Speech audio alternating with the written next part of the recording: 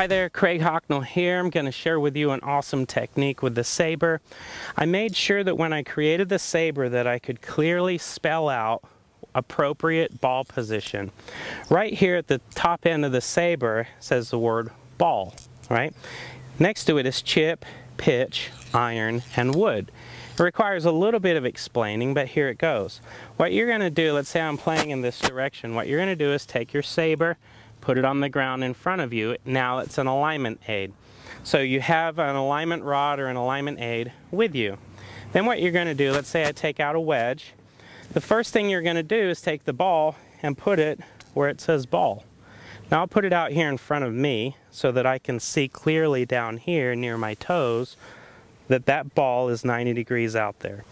What I do then is I take my left foot or my lead foot and I put it really close to the grip or in alignment with that grip. That's going to place my ball position straight here off the inside of my left foot. Now this is something that I took directly from Ben Hogan and was taught this through his books and through other coaches for many, many years. But I think it's something that's been misplaced in normal, you know, foundational teaching is how to figure out ball position.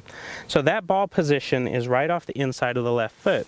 If I now take my right toe and I put it right here where it says chip, now I'm in a position to make a chip shot. What you'll see is my right toe is closer to the saber, putting my hips slightly open. The appearance, however, is that that ball position, because it's off the inside of my left heel, is now actually in the center of my stance, and it almost seems like, if you lined up my right foot, that it's actually off my right toe. But if I'm chipping in this direction, that ball position is at the bottom of the arc. The bottom of that arc is always proportionate to this left hip. Therefore, if the bottom of the arc is calculated by the pivot of the left hip, your ball position should always be off that left hip. So as I move to a pitch shot, all I'm doing is moving my right foot back. As I move to an iron swing, I'm moving my right foot back, and as I move to a wood or a driver, I'm moving my stance further back. Now the appearance is by the time I get to my driver, is that that ball is way forward in my stance in comparison to say a pitch, which is right here. The reason for this, keeping that ball position in the same place for every shot, is for two reasons. One of them is the precision of the bottom of the arc, the other one is the precision of the powerful hinging and snapping of that left hip. So what I'll do is I'll describe that to you using the saber. So if all I do is trade out my clubs, pick up the saber, I'm going to grab the light in. So what happens now is as I turn to the top on my backswing, let the timing mechanism drop into my hands, what's going to happen is, is as I pivot that hip, I'm going to hit this spot where it's basically going to stop for a second. As it stops, that's when the snap of the ball kicks out.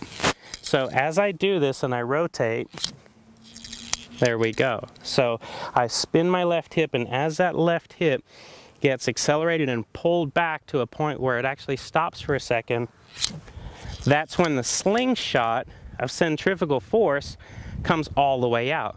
Now this would be the exact same thing if I did it left-handed.